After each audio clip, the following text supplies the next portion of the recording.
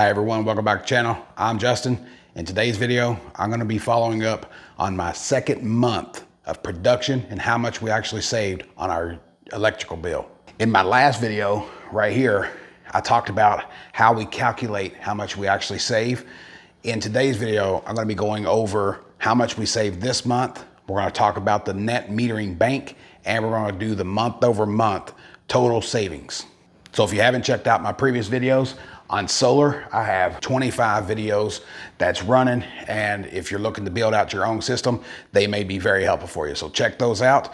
With that said, I'm gonna go ahead and jump over on the computer and start talking about the total amount that we saved for this month's bill dating August the 25th to September the 25th of 2022. Here we're logged into the Enphase Enlighten Manager. And how you get this is you have to have an Enphase Envoy that communicates with your Enphase microinverters. And then you get to use the software Enphase Enlighten Manager for free.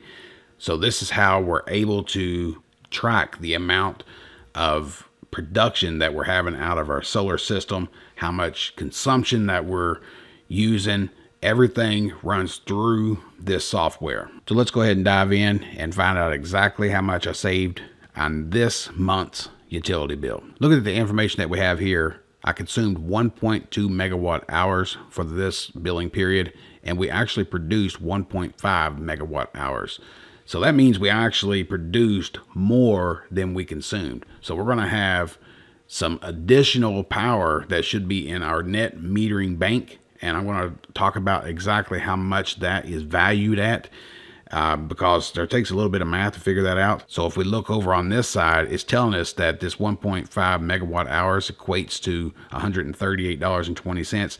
That is totally incorrect because all that takes into consideration is how much that we're being charged per kilowatt hour. We have other charges that are calculated as we use kilowatt hours that really adds up a lot. And I'm going to go over that in just a second, but it's important to understand we're going to use this number right here 1.2 megawatt hour that we consumed to figure out how much our bill would have been if we didn't have solar. So let's look at our current bill. That's $15.51 that's the lowest our bill will ever be because if you watch my first month's video, I explained that we will always have this member cost of service of $13.99.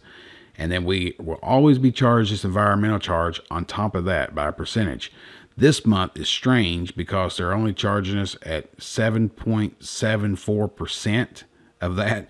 That's usually 9.66. And I'll show you that in just a second. We have to go with 9.66 because I think we get penalized for the more power that we use, the higher this rate goes. It's strange how that works. And we'll always have a school tax. So right here we have a $15.51 utility bill for the month of September because we're being charged between August the 25th to September the 25th. Now, this is the bank that I was talking about, the net metering bank. We actually overproduced by 351 kilowatt hours. So we're going to talk about how much that actually values that in just a second. But I want to run over to the previous bill to show you that that environmental charge was 9.66%. So the more you use, the higher it goes. I'm actually, because we didn't use much here on our first solar bill, so I'm going to use this as a baseline, 9.66, to calculate what we actually would have been charged. And like I said before, everything's going to be off this 1.2 megawatts. So let me pull up a Word document and you can see the total that I come up with is $156.50, what our bill would have been if we didn't have solar.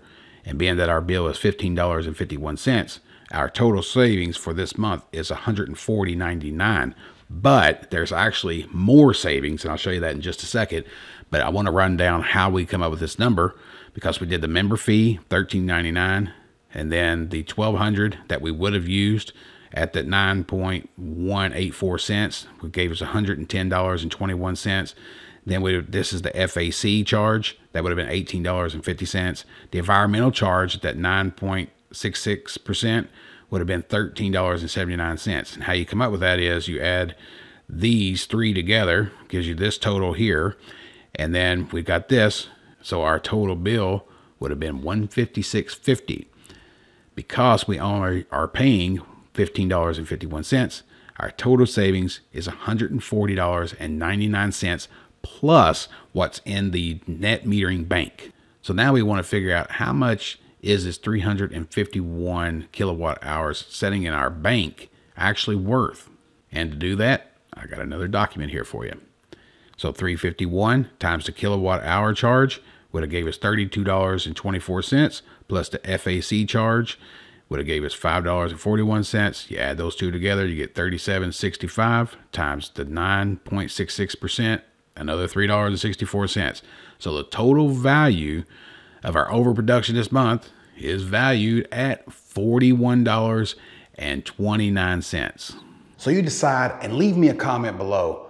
Did I only save $140.99 or should we add in the $41.29 because we're going to be drawing from that net metering bank sometime in the wintertime when it gets really cold. We're not going to be able to overproduce and we're going to be drawing from that. So I think it's fair to add that in as what our total savings were for this month because we won't be calculating that when we're underproducing a little bit later on in the year or the first of next year. When we get into that January and February months, we're definitely not gonna be overproducing. So did we actually only save $140.99 or do we add that $41.29, giving us a total of $182 for the month of October. You guys leave me a comment below. Let me know if you would go ahead and add that in or try to recalculate that later on the year. I think that would be almost impossible, but I wanna hear what you guys have to say. And the last number that we need to consider is what is our total running investment payback currently?